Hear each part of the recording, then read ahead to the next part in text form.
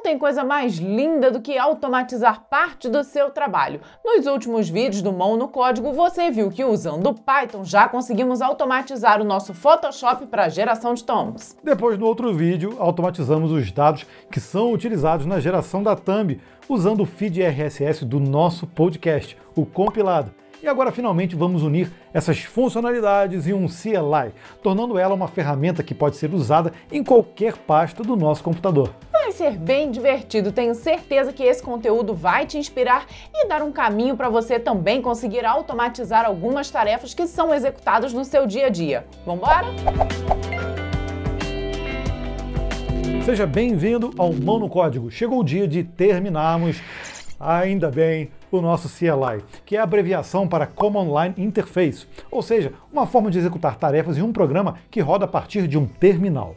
Legal desse tipo de solução é que você pode manipular softwares, executar um monte de tarefas diferentes e como tudo isso vira linhas de comandos no terminal, é possível também criar rotinas de vários comandos diferentes de forma a compor um shell script ou um bat, por exemplo. Tenho certeza que se você já experimentou o NPM, Yarn ou Composer para o PHP ou algum outro gerenciador de pacote, você sabe muito bem como funciona um CLI. Mas aqui no Código Fonte TV já criamos um CLI, que é um gerador de projetos aqui para o canal, e também um organizador de fotos. Mas agora vamos compilar o CLI para o compilado, que é o nosso podcast. Já falamos que a linguagem escolhida para esse projeto é o Python, e se você quer aprender mais sobre ela, a dica é acessar o link da nossa parceira, a Alura, que está aqui na descrição do vídeo. O link vai te levar direto para uma seleção com formações voltada para Data Science e estatística e vários cursos envolvendo a aprendizagem da linguagem, seus frameworks e bibliotecas mais utilizados no mercado. Ainda te garantimos um desconto especial na assinatura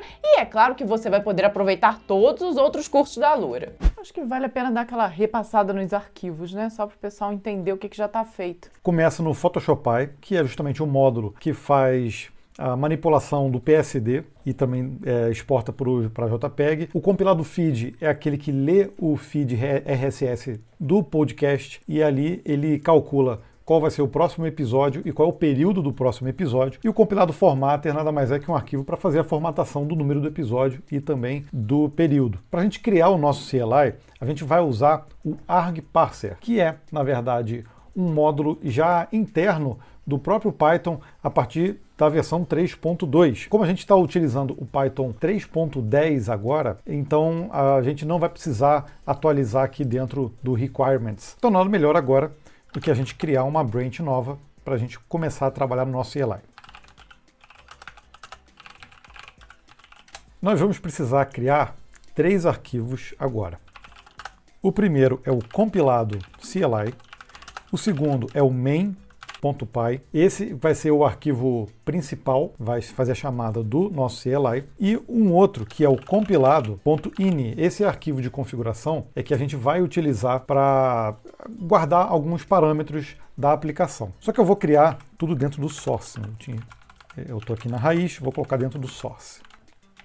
Então vamos começar aqui com o arquivo .ini. Ele vai ter a URL do nosso feed. Aqui é a pasta local onde eu guardo os arquivos PSDs. Numa outra seção, ele vai ter o nome dos arquivos PSDs separados por pipe, que a gente vai fazer a leitura. Para o nosso arquivo compilado CLI, a primeira coisa que eu vou fazer aqui vai ser importar as dependências. Como eu disse, a gente vai usar o argparse, que já é interno do Python, e também o config parser, que também já é interno do próprio Python. A gente não precisa usar o pip para instalar ele. O config parser nada mais é que o módulo, a lib, para a gente poder ler o arquivo .ini. E no mais, aí são os arquivos do, do, próprio projeto, né? E esse de login, que a gente também já utilizou no, no vídeo anterior e que a gente vai aproveitar também para usar dentro do projeto.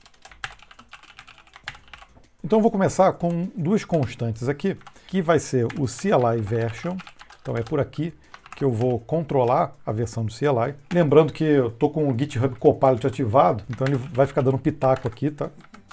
Vou botar o nome de compilado CLI, aí pronto. E o nome do arquivo de configuração. Ele já sugere lá o compilado.ini. Normalmente os pitacos do Copilot são bem interessantes, é por isso que vale a pena deixar. É. Inicialmente, eu vou gerar um método que eu vou chamar de loadInFile.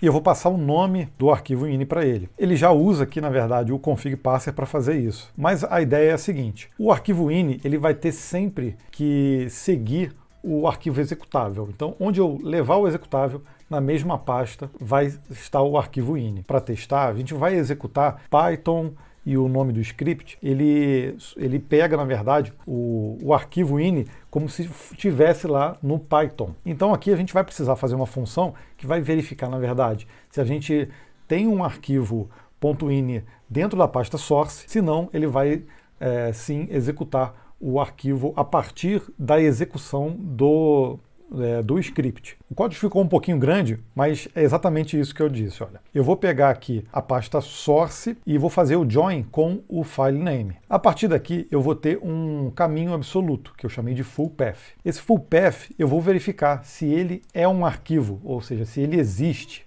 Se ele existir, ele vem aqui para o path config file. Se não, eu vou pegar o caminho da onde está sendo executado o script e vou juntar com o nome do file name. A partir disso, eu tenho aqui um join de um path, então eles vão se tornar um só, e aí eu pego o caminho absoluto dele. Aqui nesse path config file, eu vou ter exatamente aonde está o ponto .ini, seja aqui na hora de executar ou na hora de executar depois que eu tiver o meu executável já buildado. Tá? Eu vou retornar aqui true, se a leitura tiver sido certinha, tiver tudo sido ok. Se não, aí sim eu vou abrir aquele é, com um erro.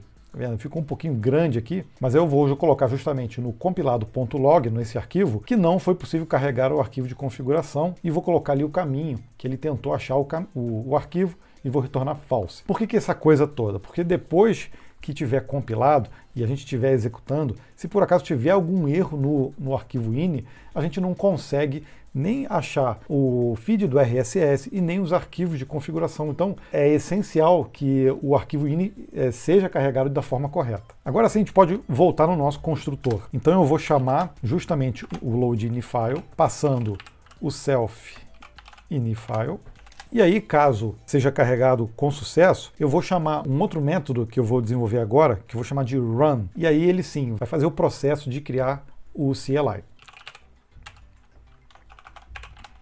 E agora é que a brincadeira vai começar. E como é que funciona o parser? Ele está colocando aqui um monte de coisa, mas como é que eu vou fazer?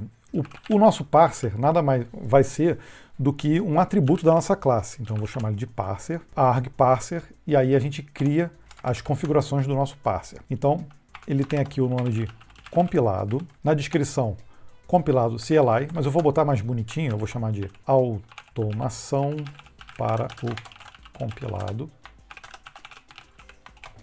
O epilogue, ele está colocando o nome de alguém aqui. É engraçado que ele nem fechou string, né? Mas na verdade, aqui vai ser desenvolvido por código fonte TV. Pode colocar o uso, o prog na verdade eu botei prod aqui, mas é prog.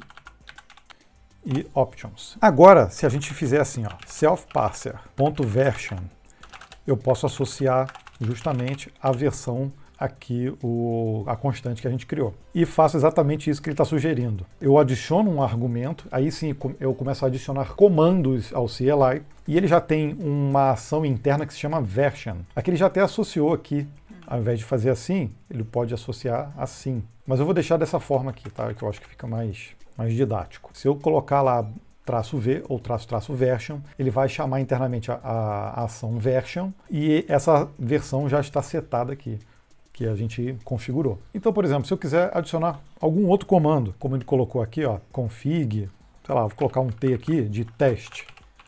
Aqui eu não vou associar nenhuma ação, vou colocar só, por exemplo, Tor true, então teste de conexão com o servidor, por exemplo. Se eu, eu colocar assim, olha, arg parser e chamar esse método parseArgs, ele na verdade vai computar todos os comandos que foram executados e vai, na verdade, é, tentar pegar esses comandos que foram passados já para o CLI. E aqui eu começo a tratar. Se, por exemplo, o argparser, ou parseArgs, né, pode ser o contrário aqui assim, ó, se passe args, e aí eu, eu posso tratar. Se passe args, é, por exemplo, ponto teste, aí eu posso dar um print teste. A gente pode até testar isso agora para ver se já está funcionando. Deixa eu ir agora então no arquivo main, é onde a gente vai fazer a nossa chamada e ele vai ficar bem simples. Ele vai ficar com essa carinha aqui. A gente vai importar o compilado e vamos simplesmente inicializar o nosso objeto. Como o run ele está dentro do construtor, ele já vai ser executado automaticamente. Caso você queira não colocar ele como um método privado e chamar ele proativamente aqui depois, né, o compilado.run, fique à vontade, é só uma forma da gente fazer. Então agora, se eu executar o script, mas antes, vamos corrigir um problema aqui. Eu tenho que chamar o self aqui. Um outro erro aqui para a gente corrigir, o store true, na verdade, é action store true. A gente confiou no Copilot, dançou. então agora, se a gente for testar realmente como está ficando o nosso CLI, a partir do main, se eu colocar aqui o traço V de version, ele vai mostrar compilado, ponto zero, ponto zero. Se eu simplesmente colocar traço H, que já é interno dele, que é justamente para mostrar o help, ou pode ser o traço traço help, ele já vai mostrar aquela configuração toda que a gente fez com o nome, como se usa é, e aqui comandos, os né? comandos, os argumentos que a gente criou. Se eu colocar o traço traço teste, vai dar ruim porque eu digitei errado, não é parser, parse. Na verdade é parser mesmo. Vou botar aqui. Falar que a culpa foi do Copilot de novo, Gabriel. Vou chamar de parser args. Então agora sim, se a gente vai para o traço traço teste, ele vai fazer o print que a gente configurou. Eu não vou utilizar aqui esse argumento principal. Eu vou criar, na verdade, um subparser. O que eu quero que aconteça é, quando eu chamar uh, CLI, eu quero dividir ele, porque agora, nesse momento, a gente vai criar a, a ação que vai manipular a thumbnail. Então eu vou chamar thumbnail, e aí eu posso usar a ação A ou auto, onde aí ele vai ler o feed, vai ver qual é o nome do próximo episódio, o número do próximo episódio automaticamente e depois vai chamar a thumbnail. Mas eu também vou ter a opção de colocar o episódio é, manualmente. Então, se eu quiser escrever, eu vou poder colocar dessa forma aqui, por exemplo, teste, e também colocar o período, né? E aí eu boto mais um mais um texto lá. Então, para eu criar um subparser, ele já até coloca ali para mim. eu vou criar justamente um subparser que eu vou chamar aqui de ações compilado. E aí eu vou chamar um outro método que eu vou chamar de create thumbnail parser. E vou passar esses subparsers por parâmetro. E lá eu vou, na verdade esse é um parser igualzinho, esse é o mesmo objeto. Eu vou criar as ações desse subparser, vou dar um nome para ele, bonitinho, e depois a gente vai tratar esses argumentos aqui, tá? Com todas as ações. E aí eu vou chamar de self, também vai ser um atributo da classe, thumbnail parser, é isso mesmo que eu quero. E aqui, tá vendo? Eu vou adicionar um parser dentro desses subparsers, vou chamar ele de thumbnail e vou botar aqui gerador de thumbnails. E é engraçado que ele já coloca aqui coisa de feed RSS, mas a gente não vai querer isso por enquanto. Mas eu posso até aproveitar aqui. Esse aqui eu vou chamar de auto, como a gente tinha comentado. Então eu coloco gerador de thumbnail a partir de RSS. O action dele vai ser justamente um, um, do tipo true. Então, quando eu passar, ele passa junto uma variável, o valor true. E eu posso colocar até aqui se ele é requerido ou não, tá? Vou até colocar aqui como false, porque a gente vai tratar isso manualmente. E como a gente tinha comentado, eu vou gerar também um outro para episódio, um outro para período Vou, colocar tudo em português mesmo. E eu tenho aqui um de dest, que é o de destino. Então, se esse vai ser opcional também, se esse por acaso a gente passar, seja tanto no alto quanto no episódio, vamos só organizar aqui para ficar padronizado. Se a gente passar esse dest ou traço D, ele vai, na verdade, mudar o caminho. Se a gente estiver executando o CLI e não passar nada, o default vai ser ponto, ou seja, a própria pasta em que está sendo executado. Ele já vai acrescentar esse parser automaticamente nesse parser principal. Agora sim, a gente pode voltar nesse método e tratar exatamente é, esses argumentos que a gente criou. Se por acaso você passar um argumento que não existe, é, isso pode gerar um, um, erro. Então, o ideal, quando, quando, a gente for validar esses argumentos que estão sendo passados, é a gente colocar isso tudo dentro de um try. Ele até coloca aqui um código bem legal, mas a gente não vai usar ele. Vamos fazer na mão aqui para a gente não ter problema. Aí eu posso colocar aqui argumento inválido. Isso aqui é beleza, né? Ele, ele preenche com o que você já, já quer fazer. E aqui a gente pode forçar também uma saída do próprio programa. E a gente pode também colocar um else nesse arg parsers, por exemplo, se nada for passado. Printar o help. Olha lá. Hum. E é isso que ele. Eu vou pegar o parser e vou printar o help dele. Então, se você colocar o menos H ou se não colocar simplesmente nada, ele vai mostrar o help. Ok, então agora nós precisamos tratar esses argumentos aqui. Então não existe mais o teste, ele se chama agora auto. Ele vai chamar auto thumbnail. Eu não vou chamar exatamente com esse nome, vou fazer auto generate thumbnail. E eu vou passar por parâmetro justamente esse dest, que é opcional. Né? A gente pode até é, terminar esse aqui também. Eu vou colocar aqui um elif com o episódio e o período. E aí ele coloca generate thumbnail, como eu tinha colocado, e aí sim eu posso passar o episódio, período e o destino. O, qual é a diferença entre elas? Essa aqui vai ler o feed e vai chamar essa com as informações que o feed trouxe. Essa aqui eu já, eu já tenho as informações que eu já passei no meu argumento, então não vou, precisar ler o feed. Olha, ele quase conseguiu. Eu vou chamar aqui de destination. Lembra que a gente armazenou os arquivos PSD e o caminho aqui no arquivo de config e a gente já tem isso carregado. Então a gente vai precisar fazer a leitura primeiro do caminho, da onde estão uh, onde estão os nossos arquivos. Legal, porque ele tenta ler lá do config, uhum. mas é files PSDs. Não, o, o, origem, na verdade, pode ser o path e o PSDs orange. Isso, é o que está aqui, ó, path PSDs orange. E embaixo pode ser o nome dos arquivos. Então eu posso botar em files, aí sim, self.config, files, PSDs. Então, tá ao contrário. É. O destino, a gente pode também pegar o caminho absoluto. Isso aqui eu não preciso. Uhum. Ele vai estar tá na pasta mesmo que a gente configurou. Vai ser interessante da gente criar uma outra função aqui que eu vou chamar de check PSD file. Ele vai receber o nome do arquivo, file name, isso aqui. E pode ser isso aqui mesmo. Ó. Uhum. Se filename.endswith.psd, então retorna true. Se não, retorna false. Aí eu não preciso aqui usar, na verdade, o log, igual ele colocou. Então agora a gente consegue saber se um arquivo ali que está dentro da pasta é um PSD ou não. E para isso a gente vai usar um filter. Então eu vou chamar aqui de PSDs, vou colocar filter, vou chamar o check PSD file e aqui dentro a gente vai ter que não só o nome dos arquivos, mas o caminho deles também. Vai ficar um pouquinho grande, mas é assim mesmo. Então vou pegar o path, vou fazer um join com o PSD orange com o file e vou fazer um looping aqui dentro dele. Ó. Então eu vou ter aqui o caminho completo, unindo o, o caminho e o nome do arquivo, vou fazer um looping e aqui eu faço um filter dentro desse array aqui, passando como filtro como callback justamente o PSD file. Só vai sobrar aqui para mim os PSDs. Agora sim é que a gente vai conseguir chamar o Photoshop, como a gente tinha feito no vídeo anterior, e fazer todo aquele processo. Como a gente vai precisar fazer um looping, então a primeira coisa é abrir o Photoshop, abrir o Photoshop Py, né, que é a nossa classe, e aí eu vou fazer o looping, faço todo o processo, então eu abro um arquivo, é, exporto, depois eu abro outro e exporto. E aí a gente não precisa abrir e fechar o Photoshop várias vezes. Então, gente só vai abrir e fechar uma vez.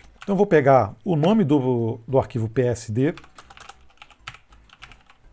base name, e eu preciso agora gerar o nome do arquivo do JPEG, que, e vai ser o mesmo nome do PSD, mas com a extensão JPEG.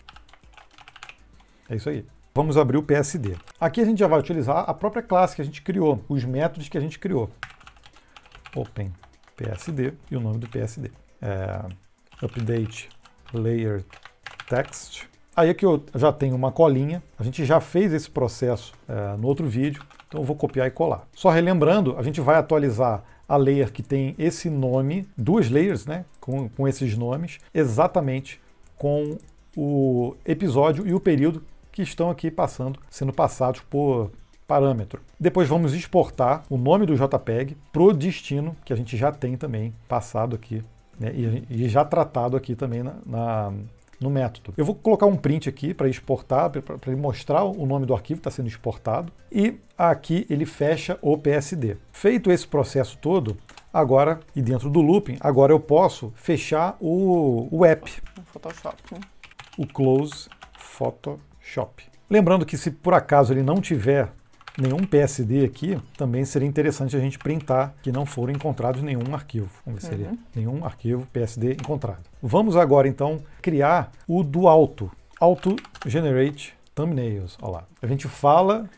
ele digita, é bem prático. É. Olha que engraçado que ele já tenta pegar alguma coisa aqui do compilado feed, ó. mas ele errou e errou rude aqui, errou feio e rude. Eu já tinha tentado da outra vez também, pegar feed. Então vamos pegar aqui, ó, o feed URL. Lembra que ele também está no arquivo .ini, tá vendo? Feed URL. Então a gente vai pegar a partir dele, self config feed URL. Vamos instanciar o nosso feed, que é o compilado feed, e vamos passar por parâmetro justamente a URL. A partir do momento que a gente fez isso, a gente já tem disponível o método lá que pega o próximo episódio. Então eu posso chamar o episode, vai ser o feed.next episode.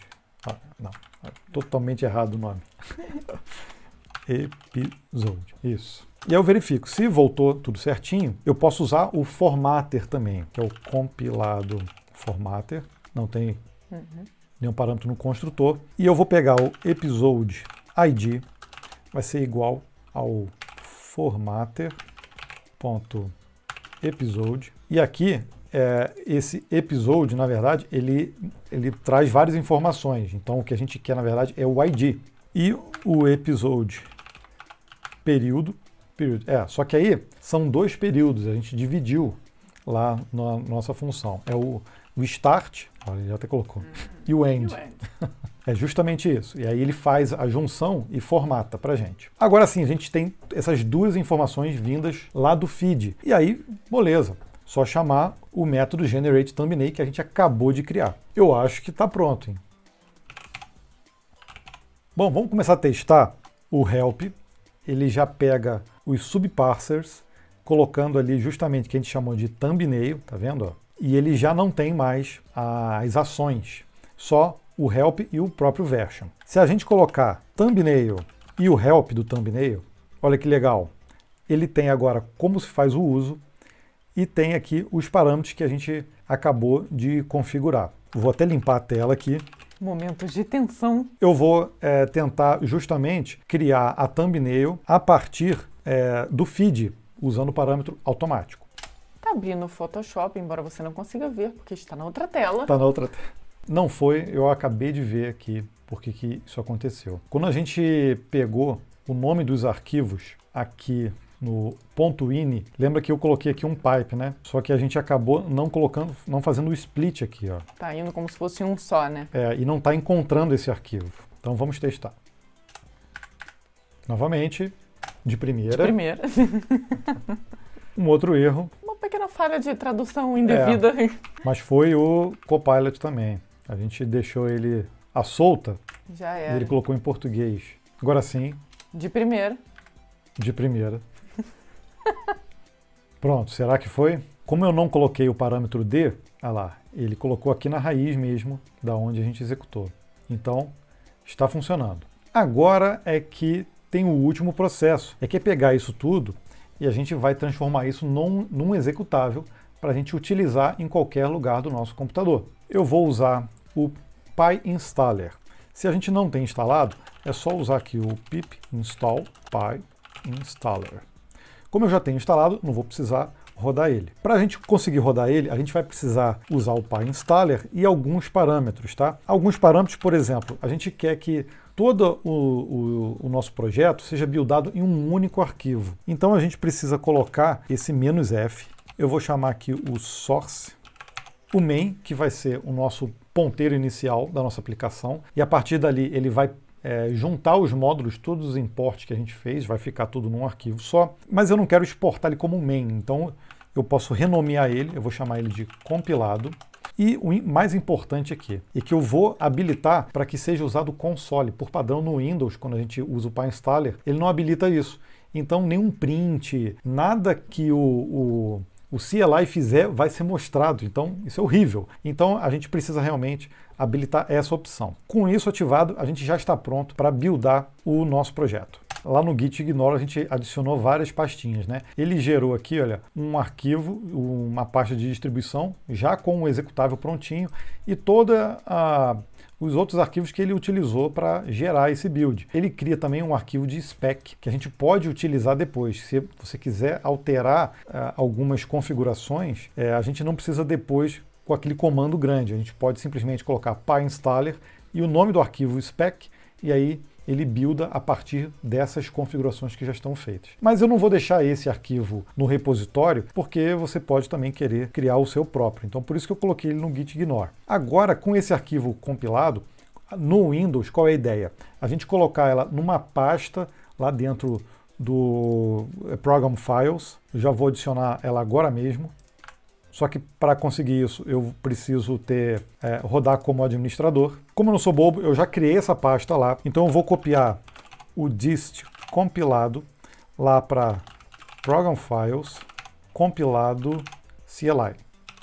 E como ele já está no meu path, então eu já posso usar em qualquer lugar. Lembrando que lá no executável, dentro do Program Files, também já tem o arquivo ini. Eu copiei para lá, então os dois estão na mesma pasta. Mas agora eu estou na pasta compilado, eu posso justamente chamar o compilado, olha, se eu colocar aqui versão, ele vai mostrar a versão, o help, vai mostrar o help, e o principal. Se eu quiser gerar a minha thumbnail, vamos gerar agora uma aqui, aleatória, né? Vou chamar de teste, e é, o período vai ser datas. Eu não vou passar o destination, vai ser aqui próprio local, vou dar um OK, e aí a gente vai ver a mágica acontecendo. Então tá aqui os dois arquivos com as informações que eu passei. Agora é correr para o abraço. Agora eu vou pegar essa branch, vou fazer um merge, vou fazer um commit, vou fazer um merge lá com a main e vou subir o repositório para vocês. Lembrando que isso tudo aqui está disponível no GitHub, então qualquer dúvida, dá uma olhada no código e depois comenta aqui no vídeo. Agora sim, temos o nosso CLI prontinho, integrado com o Photoshop e o feed RCS do nosso podcast. Para os usuários de Linux ou outro sistema operacional, nós estamos pensando aqui em abstrair essa solução que está atualmente com o Photoshop e utilizarmos o Figma para isso. Assim podemos realizar a geração da imagem através da API do Figma, sem precisar de nenhuma ferramenta instalada na própria máquina. Que tal? Mas se pararmos para pensar, né, ele é até muito melhor do que usar o Photoshop. Então, mesmo que você não queira, nós vamos fazer, tá? De qualquer forma, deixa aí o seu like para a gente continuar com esse projeto. Espero que o seu CLI fique tão prático quanto o nosso. Nos vemos então no próximo vídeo que iremos te indicar em 3, 2, 1.